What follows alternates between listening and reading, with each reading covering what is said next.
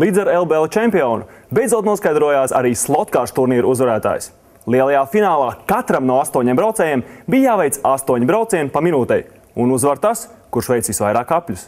Kungi, piesprādzējiet drošības jostas! Jūs dodaties savā pēdējā braucienā!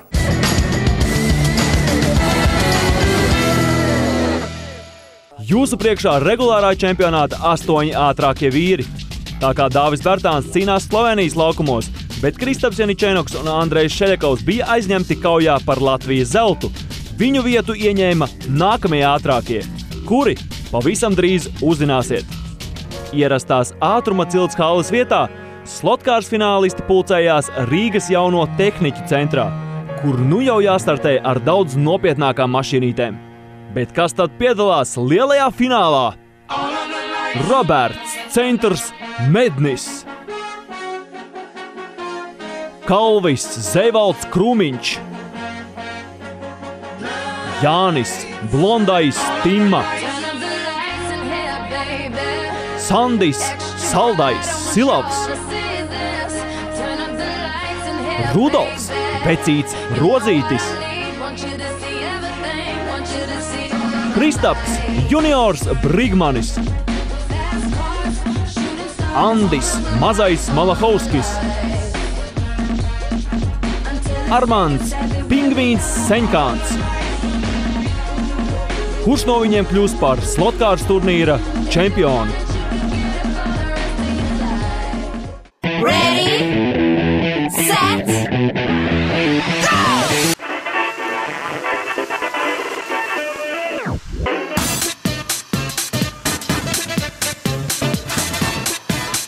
Un tā jau pašā sākumā vadībā izvirzījies Malahovskis, bet astēsēž Senkāns un Timma. Kalvis Krūmiņš izslīd no trases un ir neapmierināts. Pirmais etaps galā. Armāns Senkāns priecājas, un kā nu ne? Pēc pirmā brauciena viņš ir vadībā, taču Malahovskim un Timam arī pa sešiem apļiem. Pēdējais pagaidām Krūmiņš. Startējam kloķus! Vīri!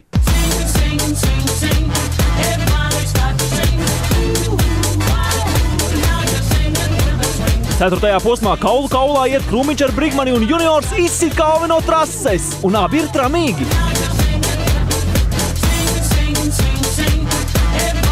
Pa to laiku mazais Andis kaldina savu uzvaras gājienu un klusiņām to nosvin. Malahovskis ar mēdni šajā braucienā nostūmuši Seņkānu uz trešo pozīciju. Uz papēžiem jau min Brigmanis, bet Silovs pagaidām noslēdzošais.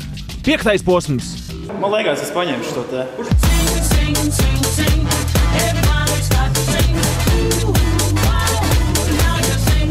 Nu jau ripojam pa kalnu lejā, un lēnām tuvojas izšķirošie notikumi, un visi iet uz pilnu banku. Arī Mednis un Silaus, kuri iebrauc tunelī, bet izlido no tā tikai Mednis. Mistika! Mašīnītes apstājas, un Mednis ir kokā, bet Brigmanim zīle rokā. Robis, kā jau solīja sākumā, paņem šo posmu. Brigmanis trešais, bet neveiksmīgs etaps Andim. Kritiens no pirmās uz piekto vietu. Lecam un laižam! Septītais brauciens, pagaidu otrā un trešā vieta cīnās plecu pie pleca. Kurš kuru? Šoreiz Senkāns junioru. Ielieciet lūdzu atpakaļ.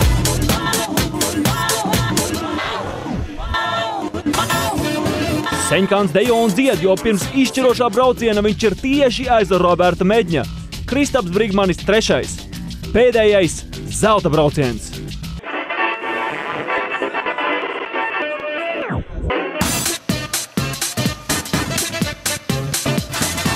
Noslēdzošajā braucienā visi spiež kloķus līdz galam. Maksimāli apgriezieni, katrs vēlas nobraukt pēc iespējas vairāk apļu. Centram mednim un pingvīnam senkānam vienāds apļu skaits. Svarīgs ir katrs metrs. 5, 4, 3, 2, 1. Stop! Tikai par mašīnas tiesu senkānu! Uzvar mednis! Lūk, galīgais vietu sadalījums slotkārs turnīrā. Krūmiņš 8, tad Tīma un Silavs, Rozītis 5, Malahovskim 4. vieta, bet LU trio ar bronzu noslēdz Brigmanis. Seņkāram sudrabs, bet Mednis ieraksta savu vārdu Slotkārs kronikās. Turībnieks Roberts Mednis kļūst par Slotkārs čempionāta uzvarētāju. Armandam Seņkānam otrā vieta un ķiršu torte divi neveiksmīgi tie kritieni no trases ārā un ir rezultāts otrā vieta. Tajā reizē, kad es izkrītu divas reizes, viņš nobrauc septiņas apus, es tikai piecas. Es jau braucu šurp zinot, kas paņemts pasākumu. Tāpēc, kad es iepriekš es jūtu, ka man, man izdodas tās štēles. Un, nu jā, es ātrāk atbiju. Basketbols labs, kas tas zelts. Pirms 11 gadiem, tieši 7. finālspēlē, kurzemnieki pārtrauca broču hegemoniju Latvijas basketbolā. Tajos kadros pavīd tikko redzētie tēli - Krauliņš, Lembergs un arī pa kādam Valteram.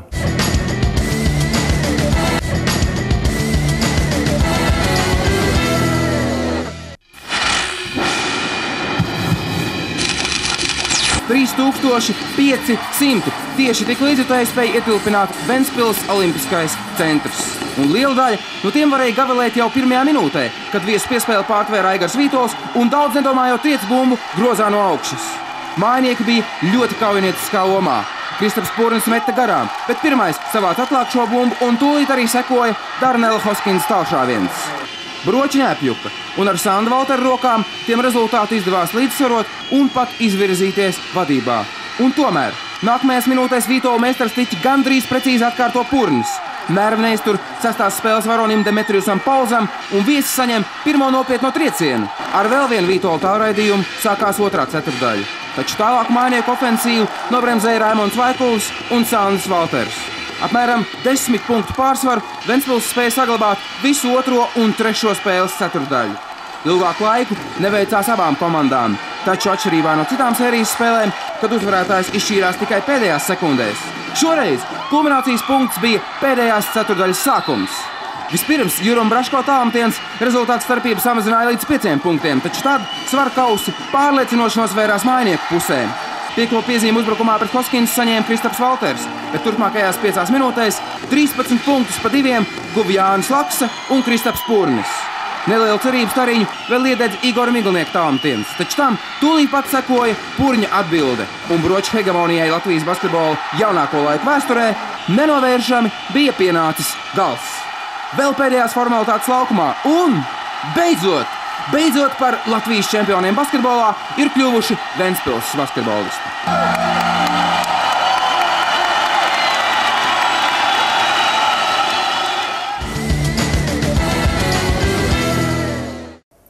Un tagad kārta esencei.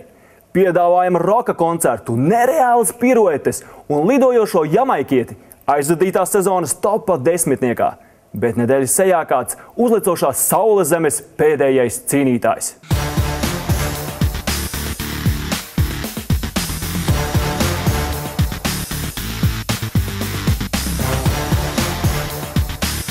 Vēl rudenī Rujanas spridzeklis Bertāns F-16 iznīcinātāja ātrumu apvienoja ar nagludzīšanu pretiniekos.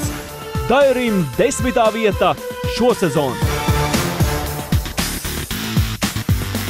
Jaunais Valmieras dārgakmens Jānis Bērziņš parāda savu mīlestību Neļubovam un skaisti nodrošina devīto placi sezonā. Astotie roka duets Klāvs Klāvs! Pedrītis uzdod Toni Bračkam un Klaus Divansons iedārdina Lietuvai bungu solo. Aču, brāļukas! Ventspils melnā deguzīte izlido cauri vidzemes mežam un saka kuku!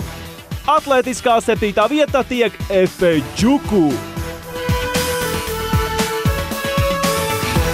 Mareks Meijeris veiksmīgi iestājies Franču baleta skolā un apguvis divas superpiruetes – Grand Jet de Decuru un te jums arī Futuron de Jambé en RBSQ. Sastā vietā.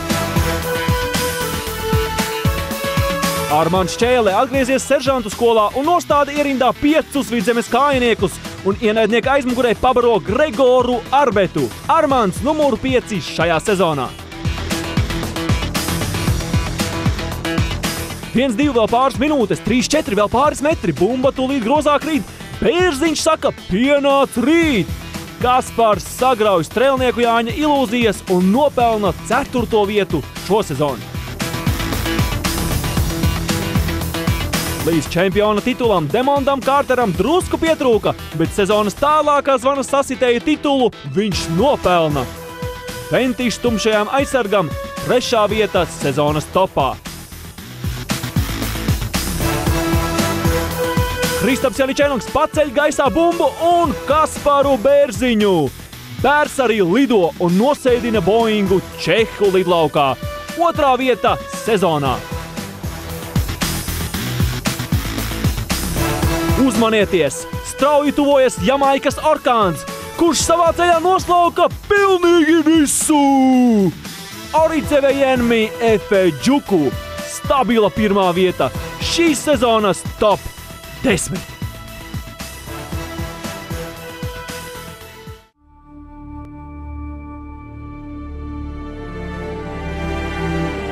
Japāna 1870. gads. Japānas imperators nolīgst amerikāni Natanu Algrenu apmācīt savu armiju lietot ugunsieročus, lai iznīcinātu samuraju karaspēku. Jau pirmajā cīņā Algrens nonāk samuraju gūstā un iepazīstas ar viņu karavadoni Katsumoto. Dzīvojot svešā zemē, kur viņa dzīvība karājas mata galā, viņš sāk izprast viņu dzīvesveidu un īpašo filozofiju - drosme, lojalitāte un gods. Lūk, vērtības, kas apvieno divas pasaules vienā beidzamajā cīņā par brīvību. Pēdējais samurajs šovakar ir Kristaps Janičēnoks. Ienaidnieka priekšā viena cilvēka sirdī guļ īsta karotāja dvēsele.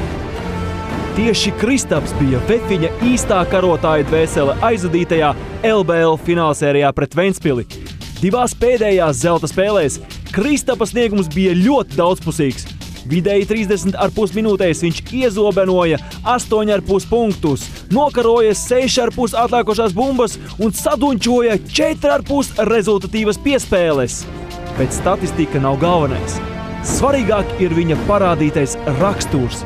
Par spīti savainojumam, nesautīgi palīdzēt komandai būt labākai. Uzvara ir domāta tiem, kuri ar savu darbu ir gatavi maksāt par to.